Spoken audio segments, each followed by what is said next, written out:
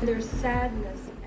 Good evening. The pain is unimaginable. We begin tonight in Merced, the community there beginning to grieve, gathering by candlelight after a family of four was kidnapped and killed, found dead in the middle of an orchard. The prime suspect booked into jail tonight as we learn more about what exactly happened. It is a grim tragedy that has gripped the nation as people everywhere struggle to comprehend how anyone could kill an entire family. NBC Bear Shoher joins us in Merced with the very latest. Cheryl. There are dozens of candles still lit here tonight in the square, left behind by a community in mourning.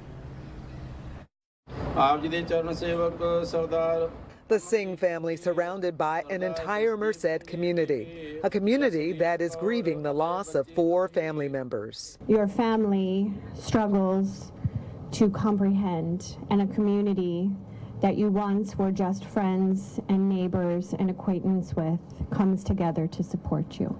Candlelights flicker on pictures of the family kidnapped and killed. On Wednesday, the bodies of Amandeep Singh, Jasleen Kaur, Jasdeep Singh, and their eight-month-old daughter, Aroohi Dheri, were found by a farm worker in a field five miles away. When there's a voice, Lord, that is no longer there. When there's a phone that you can call, but they won't answer, Lord. When there's a child whose precious voice you won't hear anymore. We have a surviving parents. The wife of Amandeep, his surviving kids. They're going to need our support, our help, and we ask community to stay with us, help us, help them. The entire family was kidnapped on Monday at gunpoint at a business on Highway 59. It was caught on surveillance video.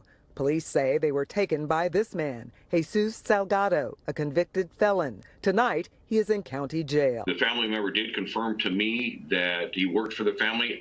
I don't have specifics as far as who in the family he worked for. The sheriff says Salgado tried to hang himself when family told him they contacted law enforcement. I believe wholeheartedly, based upon the circumstances that we know of during this case, that a second person, in my opinion, has to be involved.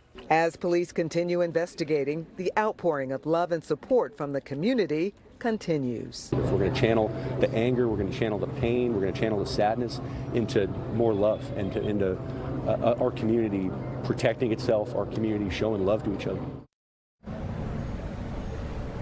Now, there are three more candlelight memorials set, each memorial honoring each person killed. Now, a family member did make an announcement tonight saying that the family has not set up a GoFundMe yet.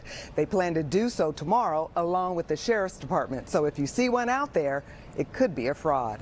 Reporting live in Merced, I'm Cheryl Hurd, NBC Bay Area News.